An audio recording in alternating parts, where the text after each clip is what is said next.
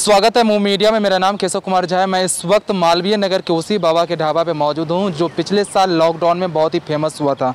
लेकिन आज की और अभी की सबसे बड़ी खबर यही है कि कांता प्रसाद बाबा का ढाबा चलाने वाले बाबा कांता प्रसाद ने सुसाइड कर ली है। यानी कि सुसाइड करने की कोशिश की है। कल रात में उन्होंने सुसाइड करने की कोशिश की है।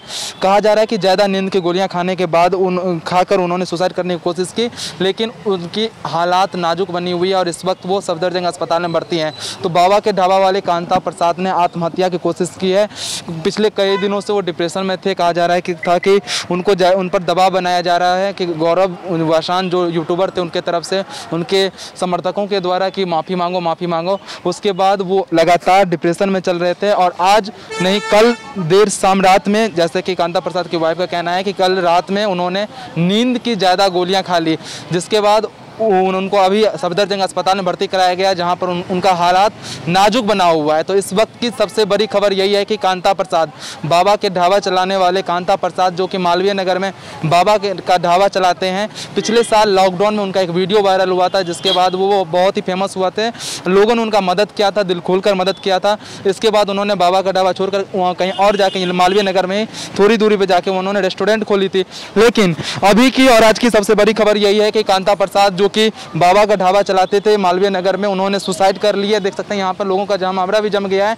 जब जब लोग सुन रहे हैं कि बाबा के ढाबा ने चलाने वाले कांता प्रसाद ने आत्महत्या की कोशिश की, इस कोशिश की तो बाबा के ढाबा पर लोग पहुँच रहे हैं। लेकिन इस वक्त कांता प्रसाद को सफदरजंग अस्पताल में भर्ती किया किया गया है, जहाँ पर उनका हालात नाजुक बना हुआ है। अभी तक उनकी मृत्यु नहीं हुई है। लेकिन कल रात उन्होंने आत्महत्या की कोशिश की।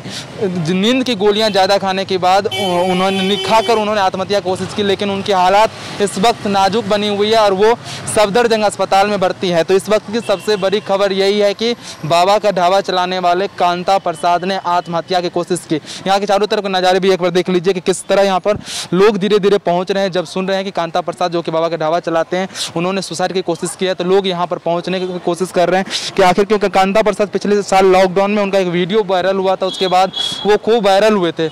उनका वीडियो वायरल होने के बाद लोग उनको दिल खोलकर मदद भी किया था, लेकिन आज जब लोगों को पता चला है कि कांता प्रसाद ने सुसाइड करने की कोशिश की है तो लोग फिर से पहुँच रहे हैं।